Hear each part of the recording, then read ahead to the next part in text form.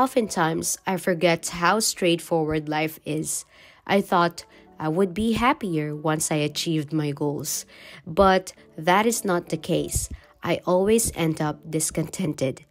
I keep looking for personal and career growth, and as I seek for it, somewhere along the windy road, I would look for more complicated solutions to my problems, always looking beyond the mark and makes the situation more complicated than it is. The ending? Sometimes it's too late for me to realize that the answer to the problem is just right in front of me.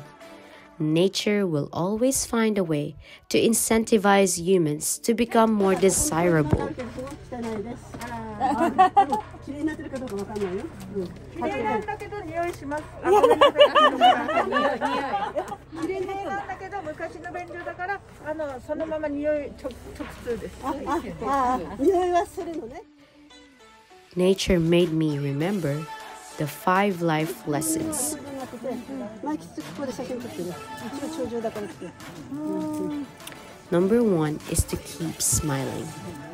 I have a hard time communicating with the locals because I can't speak Japanese well.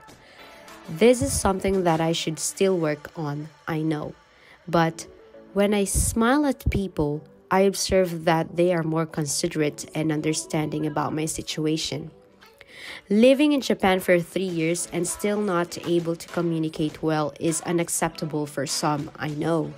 But by simply smiling at them and when things are getting tough to explain, they would just smile and try their best to be more patient with me. Number two, friendship has no age limit. For years, I've been looking for real friends, same as my age or a bit older than me. But Japan made me realize that befriending beautiful elderly people is one of the best decisions that a young person would do. Not only they would give you pieces of advice on how to prevent setbacks, but they would also teach you a lot of things in a gentle way. The best part of befriending elderly people, their sense of humor never gets old. Number 3, listening makes people feel secured.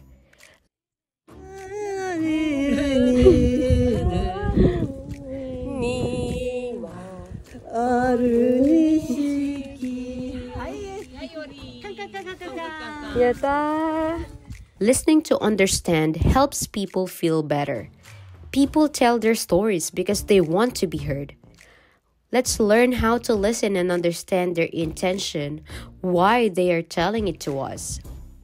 Let alone listening is better than listening to reply. Please keep that in mind. Number four, relationship is work. Relationship is not just about the feeling of comfort in the presence of a person that you like or the person that you love. I'm not talking about the romantic relationship per se, but I'm also talking about any kind of relationship. It is a two way process which makes both parties responsible to make the relationship healthy and even stronger. Both must make consistent effort to keep the relationship going. Each must add value to the other. Consistent effort of giving each other a feeling of excitement, a feeling of challenged, and a feeling of reward. Let's just keep in mind that it is a decision of a lifetime commitment. And number five, retirement is just for dead people. One thing I learned from my Japanese friends is about retirement. They will only stop working once they are incapable of doing work, both physical and mental. When I say work, it's not just about keeping their jobs, but it's also about continuously being productive citizens in the society.